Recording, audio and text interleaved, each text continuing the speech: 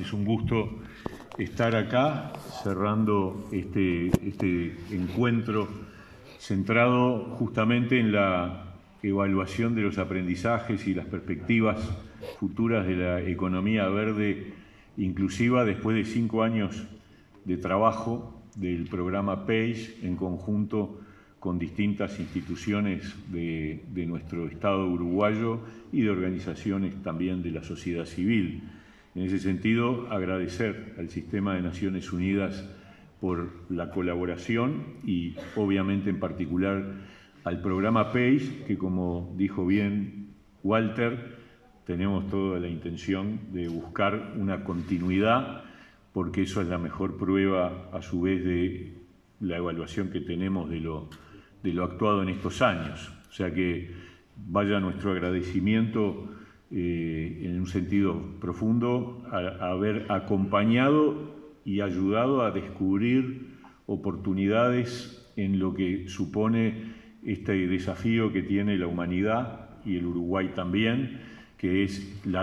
el camino y la transición hacia una economía sostenible desde el punto de vista ambiental que es un desafío mundial y donde en Uruguay, como bien resumía Walter en su intervención, eh, hemos incorporado ese asunto. Y yo diría una cosa muy importante, este, lo, hemos incorporado en una articulación interministerial. Me parece que eso es muy valioso porque no es que hay de pronto, y ya eso fue una gran señal de este, de este momento, de este periodo de gobierno, la creación de un Ministerio de Ambiente, un tema que hacía tiempo que se venía conversando, pero que ahora se transformó en una decisión institucional, sino que es un trabajo conjunto en donde participan Ministerio de Ambiente, Ministerio de Economía y Finanzas, Ministerio de Industria, eh, Energía y Minería, Ministerio de Ganadería, Ministerio de Trabajo, es decir, hay una sintonía que es la que garantiza que los avances no sean meramente declarativos o desde el punto de vista discursivo, sino que están cimentados en la construcción de este, políticas y de desarrollos concretos eh, en, ese sentido. Yo voy a mencionar simplemente algunos ejemplos de lo que atañe al trabajo que vincula al Ministerio de Trabajo con eh, la Organización Internacional de Trabajo y, en el marco de, del programa PACE. Eh, algunos ejemplos y después alguna reflexión sobre la medición del empleo verde en, nuestro país. Eh, desarrollo de un proyecto piloto de empleo verde juvenil enfocado a jóvenes emprendedores de 18 a 29 años. Realización de cursos de capacitación aplicada sobre producción más limpia y cálculo de la eficiencia energética para formar y entrenar a quienes vayan a desempeñarse como facilitadores o asistentes técnicos de MIPIMES.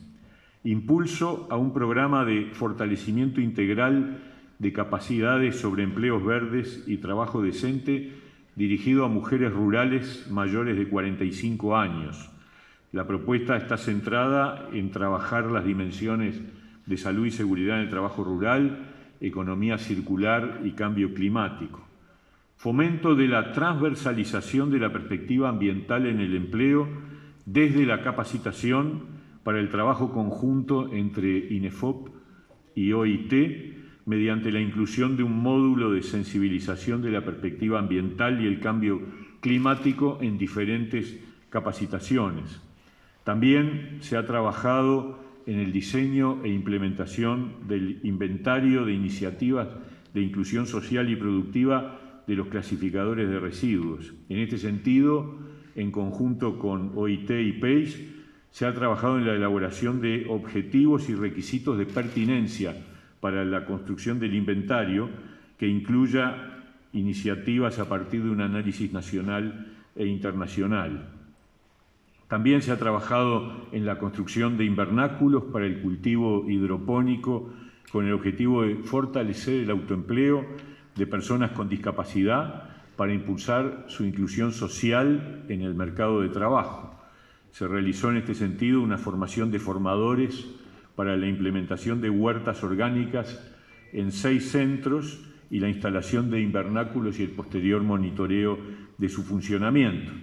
Y también se ha trabajado en eh, la perspectiva ambiental para la inclusión de personas con dificultades de acceso al empleo,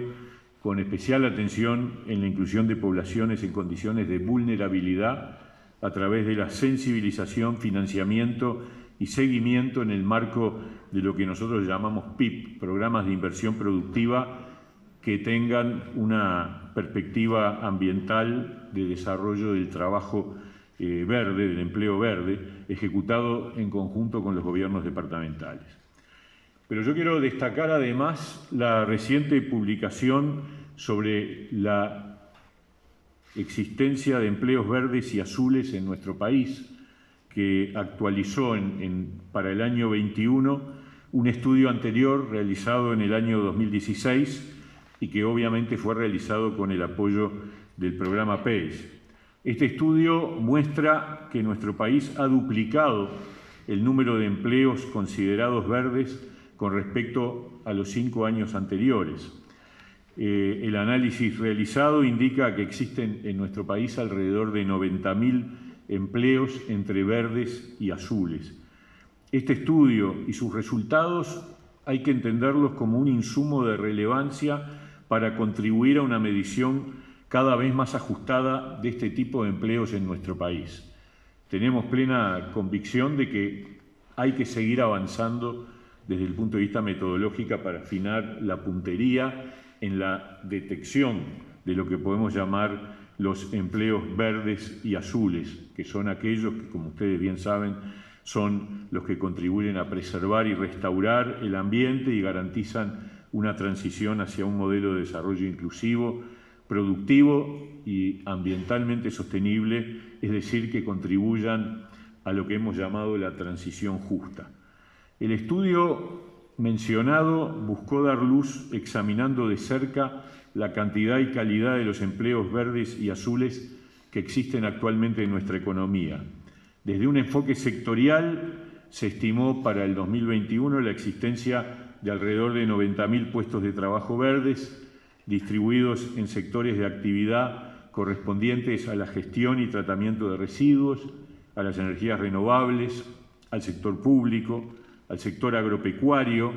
a la movilidad eléctrica, a servicios ambientales proporcionados a empresas y al sector de la economía azul. El trabajo propone además un análisis minucioso de cada sector y describe la potencialidad futura del desarrollo del empleo verde y azul en nuestro país, a la vez que propone la profundización en el enfoque de competencias. Presenta además la necesidad de desarrollar un enfoque ocupacional. En ese sentido, se registraron 54 categorías de los consejos de salarios que con un desarrollo futuro podría generar una aproximación adicional al fenómeno de los empleos verdes. Eh, ese es un objetivo que tenemos por delante, lo mismo que generar un sistema de monitoreo permanente para que estos estudios no sean puntuales cada tantos años, sino que tengamos una capacidad de hacer un seguimiento permanente de la evolución del impacto en el mercado de empleo de las perspectivas ambientalmente sostenibles. Estamos entonces en una etapa inicial en la medición del empleo verde en nuestro país. La, tenemos conciencia de que la aproximación sectorial no permite ahondar en las diferenciaciones sobre puestos de trabajo u ocupaciones. Un análisis fundado en la caracterización de los puestos de trabajo nos va a permitir en el futuro una determinación más precisa de cuándo estamos hablando de empleos verdes o azules. Eh,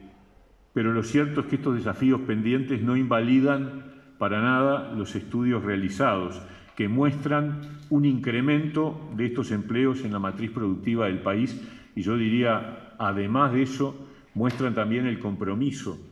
de las autoridades, del gobierno, del Estado uruguayo, de efectivamente avanzar en esa dirección. En ese sentido, deberemos avanzar en el estudio por ocupaciones y a su vez se, profundizará en los próximos tiempos en la identificación de necesidad de formación profesional en sectores verdes y generadores de empleos verdes en forma articulada con la Dirección Nacional de Empleo, incluyendo, por supuesto, las dimensiones ambiental, sectorial y territorial. Los sectores en los que se realizarán estos estudios específicos serán el sector apícola, el de energías renovables y forestal. En síntesis, se ha avanzado y mucho,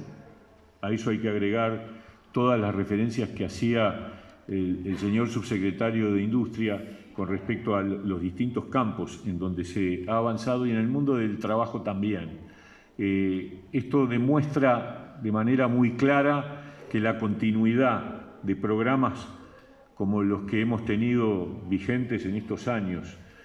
como el programa PACE, son absolutamente centrales en una estrategia del país para un desarrollo sostenible y que permita también en particular construir un mundo del trabajo